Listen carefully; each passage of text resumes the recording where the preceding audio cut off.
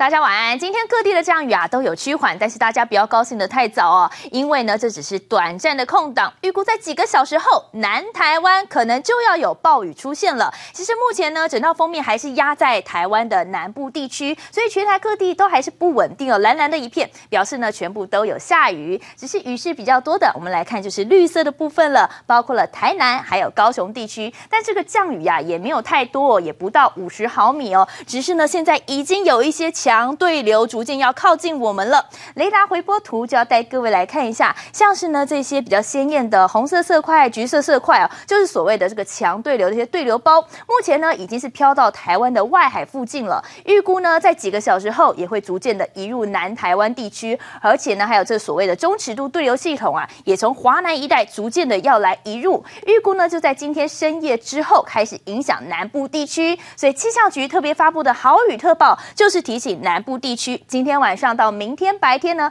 都有可能出现局部性的大雨或是豪雨，而其他地区呢明天天气也不太稳定，局部性的大雨也有可能会出现哦。而其实整道封面呢，其实就卡在台湾的上空，预估呢要到礼拜天都是在台湾上上下下来做移动，尤其明天来讲，整个大环境场的西南风又更强，所以明天来讲各地的降雨呢都会比今天来的还要多。而大家也在问了，到底这个封面影响要到什么时候呢？我们来看未来一周的地面天气图哦。目前来讲呢，预估到下个礼拜一的时候，这个封面逐渐到巴士海峡，但是呢，预估到了礼拜四，它也是在巴士海峡上上下下移动，而且目前看来还有一点点北台的趋势，会不会再来一个回马枪，影响到台湾？我们后续就要再做观察了。继续带各位来关心明天各地的天气预测。而明天北部地区呢，会比今天稍微偏热一点点，高温来到二十六度。中部地区明天可能也有局部性大雨出现的机会哦。